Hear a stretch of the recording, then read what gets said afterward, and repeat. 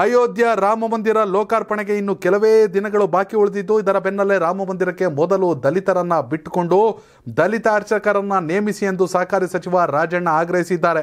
ಓಟಿಗಾಗಿ ಪದೇ ಪದೇ ಹಿಂದೂ ಹಿಂದೂ ಎಂದು ಬಿಜೆಪಿ ಹೇಳ್ತಾ ಇದೆ. ಡಾಕ್ಟರ್ ಬಿ ಆರ್ ಅಂಬೇಡ್ಕರ್ ಅವರು ಹಿಂದುವಾಗಿ ಸಾಯುವುದಿಲ್ಲ ಎಂದಿದ್ದೇಕೆ? ಈ ರೀತಿಯಾಗಿ ಹಿಂದೂಗಳು ತಮ್ಮ ಸ್ವಾರ್ಥಕ್ಕೆ ಎಲ್ಲ ಬಳಕೆ ಮಾಡಿಕೊಳ್ತಾರೆ ಎಂದು ರಾಮ ಮಂದಿರಕ್ಕೆ ಮೊದಲು ದಲಿತರನ್ನ ಬಿಡಿ, ಅಲ್ಲಿ ಒಬ್ಬ ದಲಿತ ಅರ್ಚಕನನ್ನ ನೇಮಿಸಲು ಹೇಳಿ ದಲಿತರು ಹಿಂದೂಗಳಿಗೆ ಏನು ಮಾಡಿದ್ದಾರೆ ಎಂದು ಪ್ರಶ್ನೆ ಮಾಡಿದರು. ಇದೇ ವೇಳೆ ಎ ಸಿ ಸಿ ಅಧ್ಯಕ್ಷ ಮಲ್ಲಿಕಾರ್ಜುನ ಖರ್ಗೆಯನ್ನ ನಾನು ಎಚ್ ಸಿ ಮಾದೇವಪ್ಪ, ಈಶ್ವರ್ ಖಂಡ್ರೆ ಸೇರಿ ಐವರು ಸಚಿವರು ಸೇರಿ ಭೇಟಿಯಾಗಿದ್ದೇವೆ. ಲೋಕಸಭಾ ಎಲೆಕ್ಷನ್ ಕುರಿತು ನಮ್ಮಲ್ಲಿ ಉತ್ಸಾಹ ಇನ್ನಷ್ಟು ಇಮ್ಮಡಿಗೊಂಡಿದ್ದು ಹೆಚ್ಚು ಸ್ಥಾನಗಳನ್ನು ನಾವು ಗೆಲ್ಲಬೇಕಿದೆ ಅಂತ ಹೇಳಿದ್ರು. ಇವೆಲ್ಲದರ ನಡುವೆ ರಾಮ ಮಂದಿರದಲ್ಲಿ ದಲಿತ ಅರ್ಚಕರಿಗೆ ಅವಕಾಶವನ್ನು ಮಾಡಿಕೊಡಿ ಎನ್ನುವ ಸಚಿವ ಕೆ ಎನ್ ರಾಜಣ್ಣ ಅವರ ಹೇಳಿಕೆಗೆ ಮಾಜಿ ಡಿ ಸಿ ಎಂ ಮಾಜಿ ಸಚಿವ ಕೆ ಎಸ್ ಈಶ್ವರಪ್ಪ ಅವ್ರು ಟ್ಯಾಂಕ್ ಕೊಟ್ಟವ್ರೆ.